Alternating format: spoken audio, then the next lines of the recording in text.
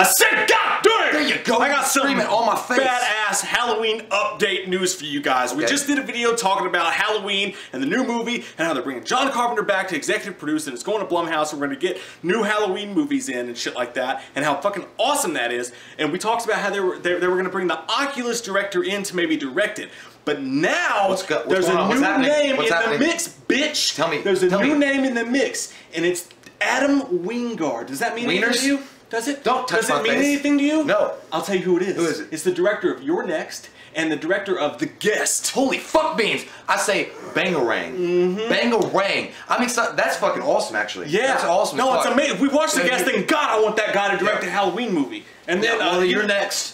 Again, You're Next was one of those movies that was like a throwback '80s kind of thing. And Yeah. then the guest being what it is, Yeah. was awesome too. So Yeah. I'm, I'm fucking down for that. I'm fucking happy for that. Like that make me that makes my cockles feel good. He's the perfect guy for that. Now, there's no official confirmation of this. It's just a rumor. But when all the news started coming out about Mike Flanagan possibly directing it, Yeah. uh, what's his face? Oh, Adam Wingard started putting out tweeting pictures, nothing but Halloween pictures on Twitter. All these Halloween pictures, and he's always wanted to direct a new Halloween movie. That shit is awesome. He's my guy. He's Yeah. what I want. Fuck Mike Flanagan, dude. Fuck him. Adam Wingard's got to direct the next Halloween movie, oversaw by John Well, no, I mean, okay, because you guys, I mean, I'm sure like You're Next, you guys know that movie, but I mean, it didn't get like as much as it should have got the attention. I thought it wasn't as great as it could have been, but again, it was one of those throwback '70s slasher Same films. thing with The Guest. It is definitely one of those up the alleyway for this director, no Yeah. doubt. And I'm excited, Mike. I'm excited. Like, you know what? It's been a long fucking time. It's been a long goddamn time. Goddamn Tom! And finally, we're getting. You know what? I hope this is the new. I hope this is the new start of Michael Myers getting the attention that he deserves and the fucking recognition from good directors to make a good movie. You put Adam Wingard in this bitch.